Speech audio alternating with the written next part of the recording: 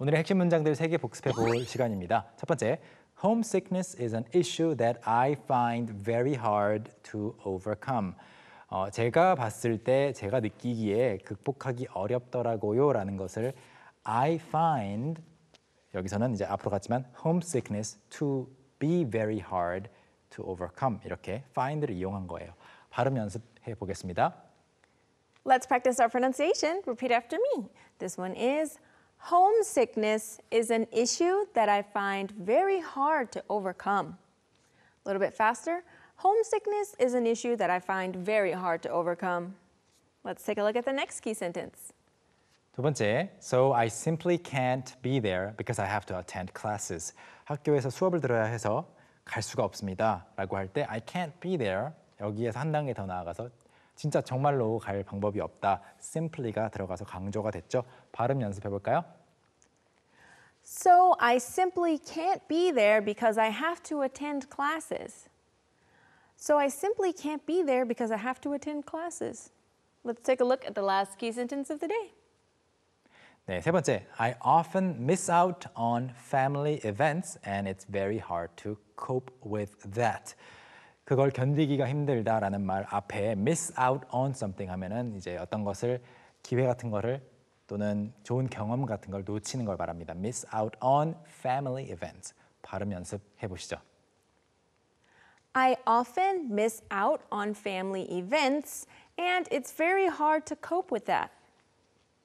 I often miss out on family events, and it's very hard to cope with that. Okay, so we have gone over today's key sentences. How about we move on to today's pattern practice?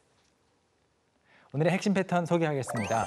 바로 I've come to 뭐뭐 하게 되었어요라는 뜻을 가지고 있어요. 그런데 come to 나 뭐뭐 하려고 왔다라고 물론 만들 수 있는 경우도 있겠지만 여기에서는 뭐뭐 하게 되었다로 쓰이는 방법 공부해 보죠. 예시 보여드릴게요.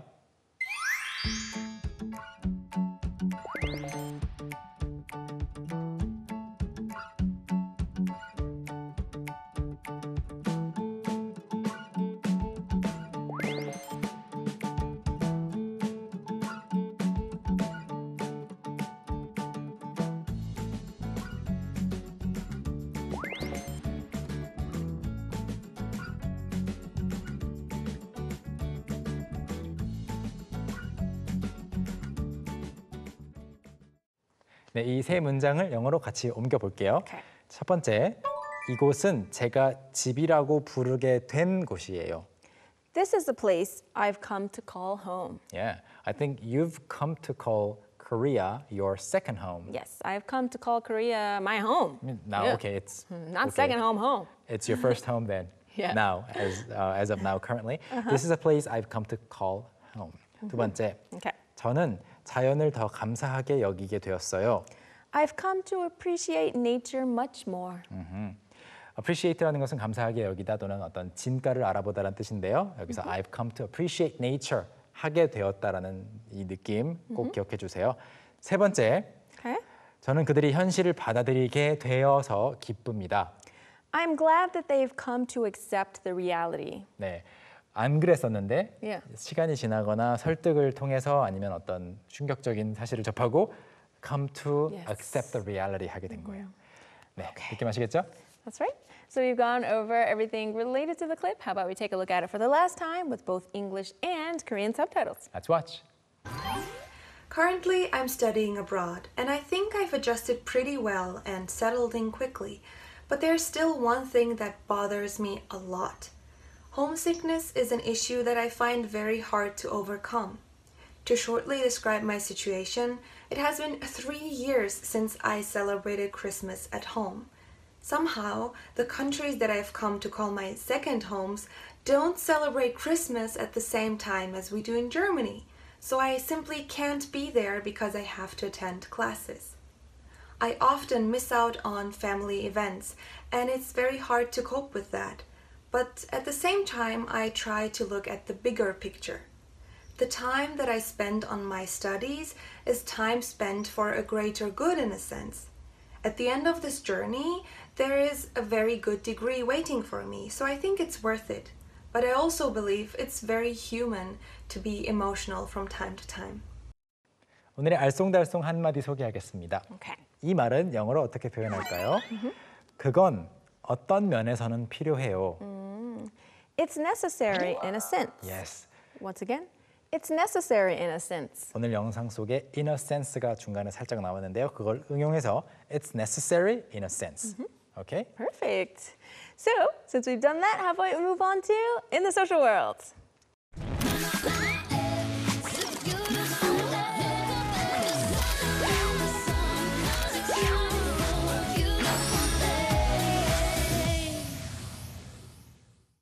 소셜 미디어에 올라온 유학에 관한 글 두 개 확인해 보겠습니다. Let's take a look at them.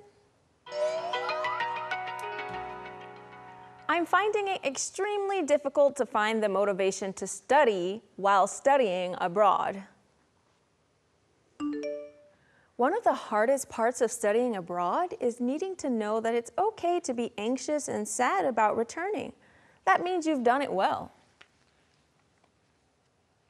네, 두 개 다 어떤 깊은 의미가 있는 것 같아요. Yeah. 첫 번째, 지나 씨가 Gina says, I'm finding it extremely difficult to find the motivation to study while studying abroad. 유학을 하고 있는 상황에서는 일단 그 1년을 있든 2년을 있든 뭐 8년을 있든 그 기간 자체가 유학이라는 어, 정의를 갖게 되잖아요. 그래서 유학을 하고 있는 동안에 공부를 할 모티베이션, 동기를 찾는 게 정말 어렵더라. 그러니까 공부를 해야 된다라는 그 압박감이 있을 수 있겠죠. Yeah, of course. He probably wants to go out and Yeah. see the country. But you're studying abroad. 이렇게 사람들이 You 말할 have 수 to 있어요. study. Oh, yeah, sorry. 두 번째, So Matthew says, one of the hardest parts of studying abroad is needing to know that it's okay to be anxious and sad about returning.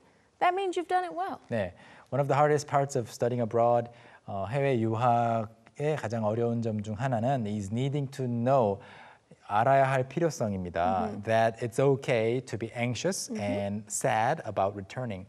다시 이제 유학을 끝내고 그 자신의 나라로 돌아가는 것에 대해서 anxious 초조하고 sad 슬픈 Yeah. 것이 괜찮다는 걸 알아야 되는 그 과정이 어렵대요.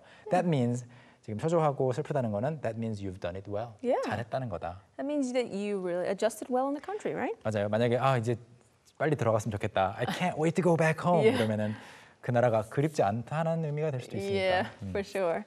Okay, so that's the end of In the Social World for today, Yes. and also it's the end of our show, but just for today. 네, 저희는 다음 시간에 또 인사드리겠습니다. See you next time. See you next time. Bye. Bye. But don't it make you wanna scream and shake your fists up in the air?